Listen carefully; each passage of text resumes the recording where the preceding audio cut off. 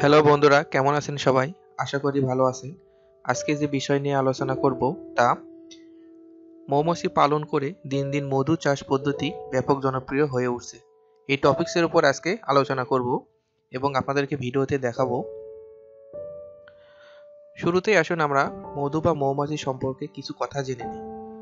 দেশের আধুনিক পদ্ধতিতে মৌমাছি চাষ করে মধু আহরণের ধারা ক্রমেই বাড়ছে।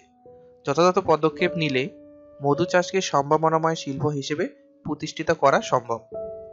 আদিকাল থেকে মৌমাছি মানুষের নিকট অতি পরিচিত এক প্রকার ক্ষুদ্র, পরিশ্রমী ও উপকারী পতঙ্গ। সাধারণত এরা দলবদ্ধভাবে বসবাস করে।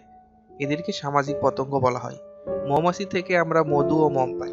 মৌমাছিরা ফুলের পরাগায়ন ঘটায়, বনজ, ফল ও কৃষি ফসলের উৎপাদন বাড়িয়ে দেয়। কোনো কোনো প্রকার মৌমাছি বাক্সবন্দি করে লালন পালন বা চাষ করা যায় এবং অধিক লাভবান হওয়া যায়। এবার আমরা আসুন ভিডিওতে দেখা যাচ্ছে যে বাক্সবন্দি করে মৌমাছি চাষ করা হচ্ছে। এটি একটি বাগানের মধ্যে পাশে অনেক লিচুর জমি আছে এবং আম বাগান আছে। এই জন্য এখানে এরা বসানো হয়েছে। এবার আসুন, আমরা মৌমাছি প্রজাতি সম্পর্কে জানব। আমাদের দেশে সাধারণত তিন প্রজাতির মৌমাছি পাওয়া যায়। কিন্তু তিন প্রজাতির মৌমাছি কিন্তু বাক্সবন্দি করে চাষ করা যায় না। তিন প্রজাতির মধ্যে হচ্ছে এক নম্বর পাহাড়ি মৌমাছি, দুই নম্বর ভারতীয় মৌমাছি ও তিন নম্বর খুদে মৌমাছি। আমরা যে মৌমাছি ভিডিওটা আপনাকে দেখাচ্ছি, এটা আসলে হচ্ছে খুদে মৌমাছি। আজকের ভিডিও মূলত বক্সে যে মৌমাছি চাষ করা হয় সেই মৌমাছি সম্পর্কে। তাছাড়া আমরা আজকে কিছু কিছু প্রজাতি সম্পর্কে বিস্তারিত আলোচনা করব। প্রথমে পাহাড়ি মৌমাছি। এরা আকারে সবচেয়ে বড়। বড় বড় গাছের ডালে, পাহাড়ের গায়ে এরা চাক বাঁধে। চাক প্রতি মধু উৎপাদন প্রতিবার গড়ে প্রায় দশ কেজি। এরা পোষ মানে না, তাই বক্সে লালন পালন করা সম্ভব হয় না। দুই নম্বর ভারতীয় মৌমাছি সম্পর্কে এবার আমরা আলোচনা করব। এরা আকারে মাঝারি ধরনের, অন্ধকার বা আড়াল করা স্থানে গাছের ফোকরে, দেওয়ালের ফাটলে, ইটের স্তূপে ইত্যাদি স্থানে এরা চাক বাঁধে। চাক প্রতি মধু উৎপাদন প্রায় গড়ে চার কেজি। এরা শান্ত প্রকৃতির, তাই বক্সে লালন পালন করা যায়। তিন নম্বর, খুদে মৌমাছি। এরা আকারে সবচেয়ে ছোট।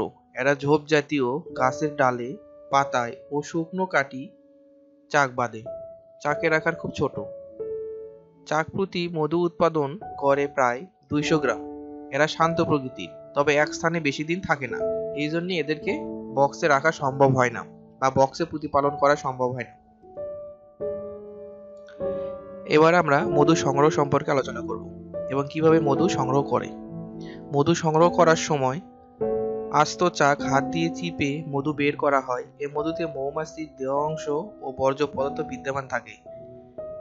এছাড়া এ ধরনের মধু কয়েকদিনের মধ্যে পচে নষ্ট হয়ে যায়। এজন্য আমরা হাত দিয়ে না চিপে মেশিনের সাহায্যে মধু বের করব। অপরদিকে, বক্সে লালন পালন করা মৌমাছির চাক থেকে মধু নিষ্কাশন যন্ত্রের সাহায্যে মধু বের করা যায়। এতে চাক থেকে শুধু মধুই বের হয়ে আসে, অথচ চাক নষ্ট হয় না এবং তা আবার ব্যবহার করা যায়। এবার আমরা মৌমাছি পালনের কিছু উপকারী দিক সমূহ নিয়ে আলোচনা করব। প্রথমত, দেশে খাঁটি মধু চাহিদা পূরণ করে পুষ্টিহীনতা রোধে গুরুত্বপূর্ণ ভূমিকা রাখে। কারণ মধু শর্করা জাতীয় খাদ্য, যা বিভিন্ন প্রকার ভিটামিন, এনজাইম ও খনিজ পদার্থ বিদ্যমান থাকে। মৌমাছির চাক থেকে শুধু আমরা মধুই পেয়ে থাকি না, এর সঙ্গে আরেকটি জিনিস আমরা পাই, সেটা হচ্ছে মম। মম কিন্তু অতি গুরুত্বপূর্ণ একটি উপকরণ, যা আমাদের জ্বালানির কাজে লাগে। মম থেকে আমরা মোমবাতি পেয়ে থাকি, এছাড়া প্রসাধনীর মধ্যে cold cream shaving cream snow ইত্যাদি। ঔষধে বিভিন্ন মলম তৈরিতে ব্যবহার করা হয়ে থাকে এই মম। মধু ও মম বিক্রি করে বাড়তি আয়ে সংস্থানের মাধ্যমে পারিবারিক সচ্ছলতা বৃদ্ধি করা যায়। সার্বিকভাবে গ্রামীণ জনগোষ্ঠীর দারিদ্রতা দূরকরণে সাহায্য করে। এছাড়া মৌমাছি ফুলের পরাগায়নের মাধ্যমে কৃষি ফল ও বনজ গাছপালার ফলন ও গুণগত মান বৃদ্ধি করে। ও জীব বৈচিত্র্য সংরক্ষণের গুরুত্বপূর্ণ ভূমিকা পালন করে। এই জন্য মৌমাছি একটি সামাজিক জীব বলা হয়ে থাকে। তো বন্ধুরা, আমার এই ভিডিও যদি আপনাদের ভালো লেগে থাকে, তাহলে অবশ্যই লাইক কমেন্ট সাবস্ক্রাইব করতে ভুলবেন না যেন ধন্যবাদ সবাইকে। আল্লাহ হাফেজ।